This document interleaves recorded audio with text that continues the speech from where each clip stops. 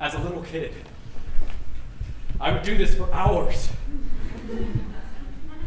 So he set out to teach me how to balance the hat on my nose.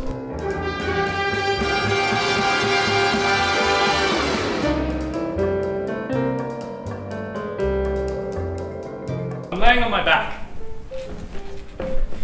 looking up at my father as he eclipses some of the lights. His frizzed hair creates a halo around his face. He looks down at the two of us, me and the dummy laying side by side. The dummy's red nose had fallen off, revealing a gaping, leprous hole in its wing and my dad can't use a dummy with no nose. So he pauses for a moment, crouches down, and says to me, Act like a dummy.